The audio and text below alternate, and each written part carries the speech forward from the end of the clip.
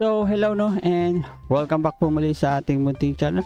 So, for this video, balikan na natin itong Norma in Meteland. So, discuss natin kung paano tayo kikita sa game na to at kung magkano ang kikitain natin sa game na to. So, syempre bago tayo mag-start, proceed muna tayo sa game. So, ito yung current game natin. So far, nata, nasa ano na tayo? I think, uh, Chef 7 na tayo and then Master 1, no? So, ngayon, paano ba yung earnings dito, no? So, unang-una, check mo yung candy shop. Ayan, ang, ang kailangan natin is bago tayo makapag-send dito ng tinatawag nilang candy, is minimum na 200 and maximum na 300 candies lang kung ang pwede nating i-mint into uh, token nila no yung token nila is tinatawag nilang gram no so itong candy itong candy na to ito yung tinatawag nilang in-game currency and then ang token nila is yung tinatawag nilang gram so mamaya papakita ko sa inyo kung paano gagawin natin no So remind ko lang 200 ang minimum withdrawal dito and 300 ang maximum and then kailangan mo mag-level uh, i-level up yung account mo for master level 5. So paano tayo magle-level ng master 5 at saan tayo kukuha ng 200 candies?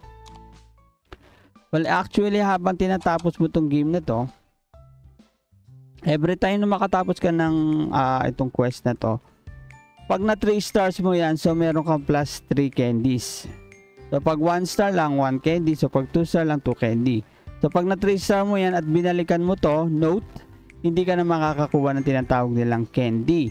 So remind ko din kayo na bawat map na to is uh, obligado kayong i-upgrade ang inyong mga kitchen, itong kitchens nyo, no? In which is kakain kayo ng candy. So yung candy na earn nyo is gagamitin nyo rin pang upgrade nyo kasi kung hindi nyo gagawin yan is may hirapan kayong mag uh, i-3 stars tong mga ito, no? Ngayon, once na natapos mo ito, for example, ayan, max 30 na tayo, pag natapos mo yan, dyan nalalabas ngayon yung tinatawag nilang master level, no? So, pag kinlik mo tong master na to, so meron ulit isang map dito na naman. So, hanggang hanggang 30 din yan. So, tatapusin mo din yan. So, every time na makatapos ka dyan, for example, itry natin. So 7 energy. Uh, remind ko din ano, uh, nauubos yung energy dito. And hindi, uh, hindi siya nagre-replenish yata, no? So tara, so ganito lang basic gameplay. So magluluto ka. Siyempre magse-serve ka lang.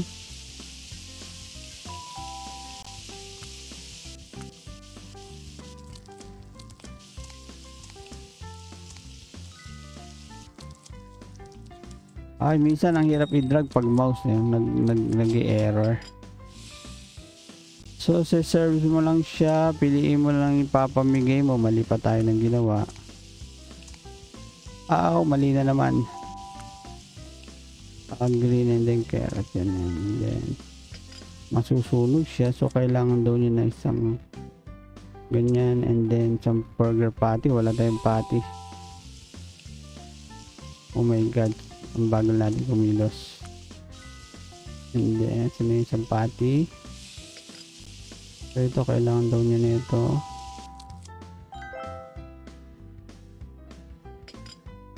One, two, sorry ang bagal natin ano?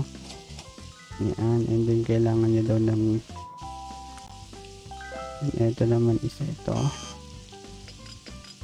Sorry kailangan pala ng ayun. Ay nasunog yung ano natin kailangan na lang carrot dyan and then isang juice and then ito isang ganito. So carrot. Naku umalis na yung isang ano order so pag mabagal ka siyempre mahina ang kikitain mo. Kailangan daw yun ng ganun.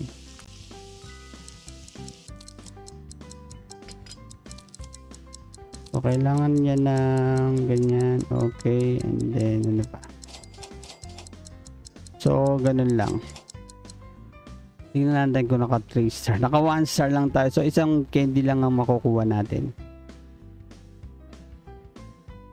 New record. So, ganun lang. Ano, so, mag-i-ano mo yung number to. Pero, syempre, wag na natin gawin yan. So, ah, nag-reset pala yung energy daily pa 100. Ano kasi naging 100 na ulit yung energy natin. Anyways, ganito lang yung gameplay. Nasa balik na tayo. So, kailangan nyo ng dalawang level dito. May tinatawag tayong normal level saka yung master chef na level. No? So, ito, yan, level 7. And then, itong master level ito, kailangan to is maging level 5 para makapag-withdraw kayo. And then, makakakuha kayo ng candy is uh, pag naglalaro kayo dito, So either 3 star, 3 star nyo makakakuha kayo ng 3 stars although pag naging 3 stars na yan is hindi nyo na pwede, pwede nyo balikan pero wala kayong makukuha candy. And then dito naman din, nakita nyo itong mga store na to. So 1, 2, 3, 4, 5, 6 bale hanggang dito ang po available. Dito sa ano na to is closed na. So wait for the update na lang daw. And every time na mag-unlock ka nitong building na to, depende sa level mo, is may bayad ulit na 30 candies. So, makukonsume nyo lagi itong candies nyo. And take note din, pag nag-start ka ulit sa isang store, so obligado ka ulit mag ano, upgrade ng inyong kitchen. So, gagamit ulit kayo ng candies, no? nakaka-earn ka ng candies and then binabalik mo din yung candies mo. Medyo magulo no? Ang questions na lang dito is once na matapos mo yung buong map na yan isan tayo kukuha ng candy? Ay nag-log out patuloy. So yun nga ano saan tayo kukuha ng candy? Pero meron sila sila ano dito na parang uh, world event ba yun? Pero hindi pa available ito to welcome R1 ito what is W WCC no? Ito World Chef Championship no? pero hindi natin alam kung anong ilang candy or kung may candies ka na makukuha dito. So anyways ganun lang ano ang pag ano dito ang kung paano maka-earn dito sa game na to. So ang requirements lang is 200 na candies lang ano pero medyo mahirap kumuha ng candy since ginagamit mo yung candy and then kailangan mong ma-reach tong master chef na to So meaning para ma-reach mo yan is kompletohin mo tong donut na to. Pag nakompleto mo yan, I think hanggang level 35 yata ito. Oh yes, level 35. Pag nakompleto mo yan, lalabas tong master chef. No? So ngayon, pag tapos na yan, syempre, uh, proceed ka sa next store. Ito, i-unlock mo yan. Gamit ka ng ano, so level 1, level 2, level 3. Uh, I think ganun ano. And then hanggang dito, level 4. So hanggang dito siguro level 5. O kayo na lang kung gusto niyo i-try at laruin yung dito kung matatansya niyo kung per ano, per ano to. Level 1 is 20 quest lang yata eh. Collect master, collect sa user master. Anyways, ah uh, basta alam niyo na kung paano i-unlock yung master level. No? So tapusin niyo lang yung buong stage dito. So ngayon, uh, example is meron ka ng 200 candies and level ay naka-master ano ka na, naka-master 5 ka na. So pwede ka nang mag ngayon mag-mint. So paano ngayon tayo mag-mint? So proceed na ngayon tayo sa kanilang website, no? And take note din dapat yung inyong uh, Gmail na ginamit sa website is same din ang gagamitin niyo dun sa tinatawag nilang Iskra Dex Swap, no? So, lalagin nyo, din, lalagin nyo lang din yung Gmail na ginamit nyo dyan. Hmm. So, ngayon, punta tayo dito sa Metaland. Dito sa homepage nila. So, iwan ko yung link sa baba. Pati yung sa swapping sa Escradex. So, iwan ko yung link sa baba na para ma-check nyo. So, i-click nyo itong exchange once na nakapag-login na kayo sa inyong profile. Ayan, oh. So, dito, max na candy. Ayan. Wala pa naman tayo anyways uh, exchange rate is uh, ah, 0.2682 gram daw. So ngayon ang minimum withdrawal is 200 candies, di ba? So kung may 200 candy tayo, ah, nakikita ba?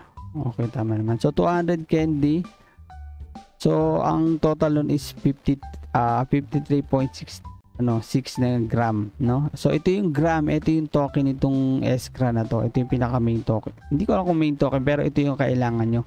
Ngayon itong gram na to is ipapapalit natin to into clay tn so under to ng clay tn network no? So 200 candies is equivalent to 53.63 gram or gram so punta ngayon tayo sa x uh, escradex swap. So nakalagin natin dahil niya, nakita niyo pareho yung ano natin, yung uh, pinaka-address natin is F777. So dito is dapat ganun din yan, F777 para hindi kayo magkaroon ng problema.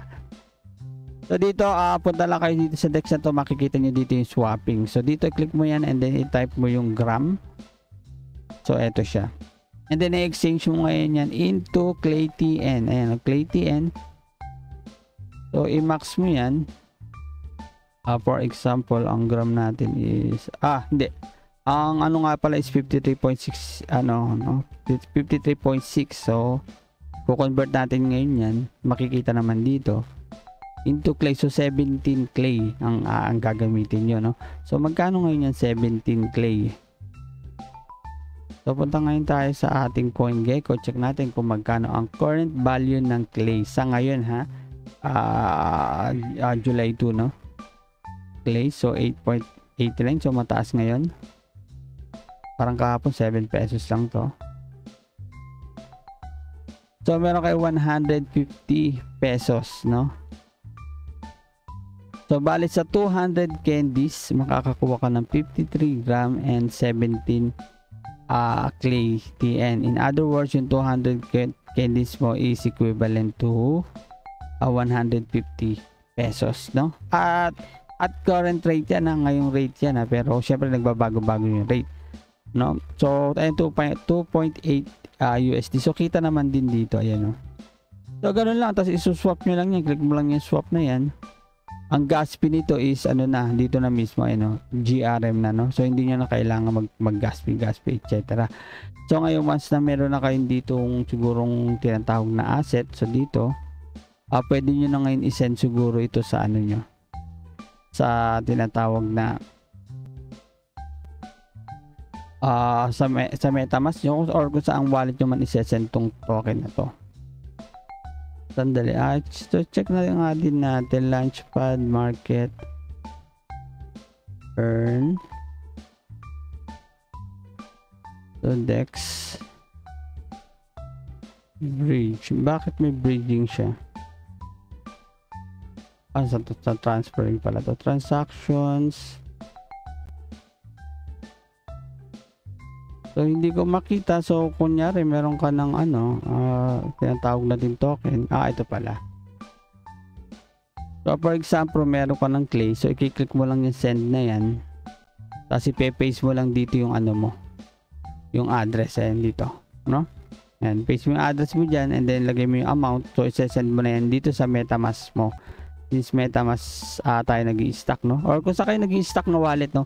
Basta make sure lang na under siya ng clay clay TN ano? O clay mainnet yun lang ang sure nyo. So andito tayo sa ano bali make sure lang na yung address ng pagsesendan nyo is under ng clay main, mainnet no? Kasi pag hindi nyo doon na pag nagkamali kayo so matat masasayang lang yung clay nyo no? So ganun lang ang gagawin nyo. So ang um, ang kailangan so mag-recap lang tayo. Kailangan nyo is number 1 is level 5 na. Master 5 yung inyong account. And then kailangan nyo mag-gather ng 200 candies. So once may 200 candies na kayo so punta kayo dito sa main website. Dito magta-type nyo dito ang 200 candies is equivalent to 53.6 na gram. So ito yung gram so ito yung main, uh, main token nila. Itong candy is in-game currency nila So pag may gram ka na, proceed ka dito sa wallet, magre-reflect dito lang. Magre-reflect dito 'yan. So make sure na same ad, same na Gmail yung ginamit niyo, no? Sa normal normal lang saka sa escrow wallet. So, punta lang kayo sa DEX, then iswap nyo na yan. So, dito type nyo lang gram. Gram and then clay TN. So, kung 53 yon ay 53.6 yata yun, di ba? 53.6. So, dyan makikita nyo yung value ng inyong clay.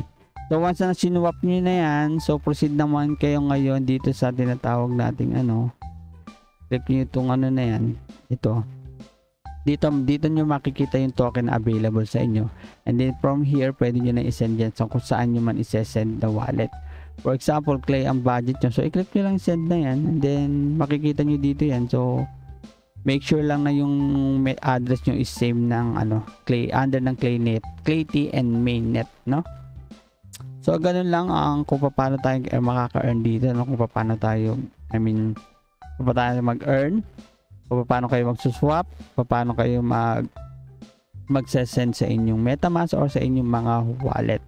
No, ang catch lang dito is ang hindi ko lang medyo nagustuhan sa game is parang ang hirap mag-ipon ng tinatawag natin candies. Kasi every time na makakaipon ka ng candies and mag-proceed ka sa ibang map, so gagamitin mo na naman yung candies mo. No? So, kita nyo 33. So, ang dami ko na, na nagamit na candies dito sa first stage na to eh. Kasi nga, pinalakas ko tong kitchen and then pagkatapag proceed mo sa ibang map, ay sa mga ibang store is ganun na naman pala mangyayari, no? So, magpapalakas ka na naman ulit ng kitchen. Anyways, kung nagustuhan nyo yung game at ano, may ayan, may idea na kayo kung paano yung gagawin nyo at kung paano kayo magsuswap. So, yun lang, no? So, hopefully nakatulong ako sa inyo on, and thank you ulit for watching, no? And see you ulit sa next video natin, no? So, bye-bye!